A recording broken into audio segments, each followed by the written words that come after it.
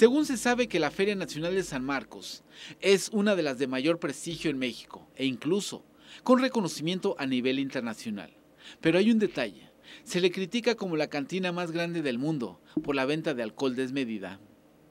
Sin embargo, ese calificativo no es tan admirado por algunos políticos. Bueno, como un desprestigio como tal, creo que no, la, feria es mucho más que eso, es mucho más amplia, tiene una gran cantidad de actividades culturales, académicas, eh, pero sí, sin duda alguna, nos enciende los focos de alerta de, de qué está sucediendo. ¿no? Al final, una feria, una fiesta de esta magnitud no es sino eh, el fiel reflejo de una sociedad. O sea, si el que sucedan actos de este tipo, pues nos arroja que realmente es la sociedad misma la que actúa así, ¿no?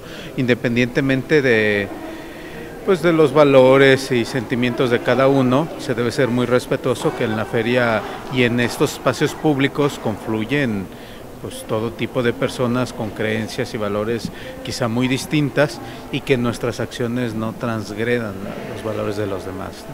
Mucho se ha dicho también que es la fecha donde se incrementa el número de embarazos no planeados, principalmente entre la juventud. Pero esta idea se ha vuelto como un mito, porque no está la estadística que tienen los hospitales, ya que las cifras de incremento de nacimientos en el año se da en septiembre. Esto porque el aumento de embarazos ocurre en diciembre, la fecha de las reconciliaciones por la Navidad. Pues puede ser, puede ser un atractivo, pero también habría que ver qué tipo de, personas estaríamos atrayendo y con qué objetivos. Creo que la finalidad de la feria no es ser una zona de tolerancia, al contrario, es, ser un lugar donde se reúnan, donde pasen el tiempo alegremente, donde se diviertan las personas, pero pues eh, dentro de los límites del marco legal. ¿no? De acuerdo con estadísticas del ICEA, en Aguascalientes ocurren al año alrededor de 26 mil nacimientos y en enero no es una fecha donde haya mayor demanda de mujeres dando a luz. Por lo pronto la feria ya terminó y su prestigio seguirá por años.